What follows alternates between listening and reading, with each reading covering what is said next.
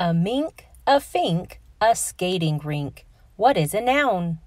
Written by Brian P. Cleary, illustrated by Jenya Prosmitsky.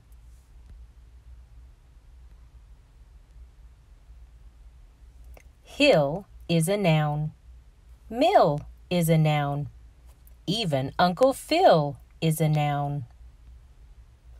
Gown is a noun. Crown is a noun.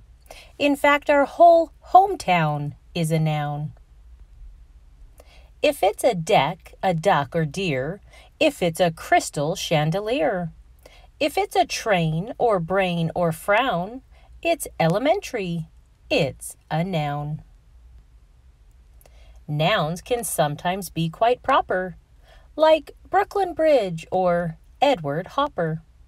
London, Levi's, Pekingese. Proper nouns name all of these. A jail, a nail, a bale of hay, the pool or park in which you play. A quarter, a porter, a pencil or pear, nouns are seen most everywhere. A box, a lip, a chocolate chip, a cup or glass from which you sip a pocket, button, sleeve, or cuff. A noun can simply be your stuff. A mink, a fink, a skating rink. A cake, a rake, your kitchen sink. The Pope, some soap that's on a rope. A downtown mall, a downhill slope. A house, a mouse, a broken clock. New Mexico, an old white sock some tar, a bar, a baseball star, the place where mother parks her car.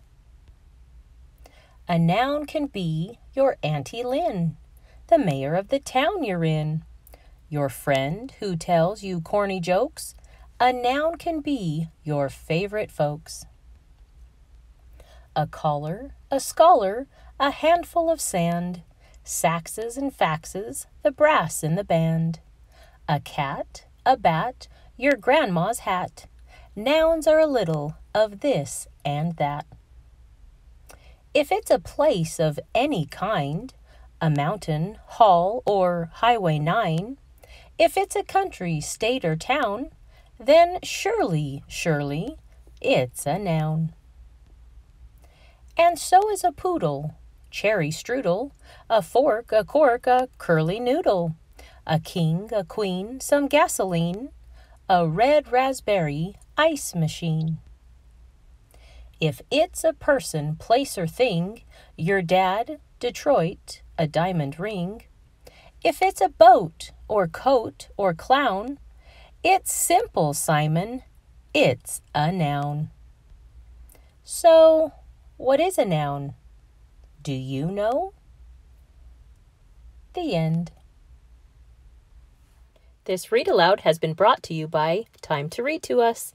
Hit the subscribe button for more kid friendly read alouds. Thanks for watching.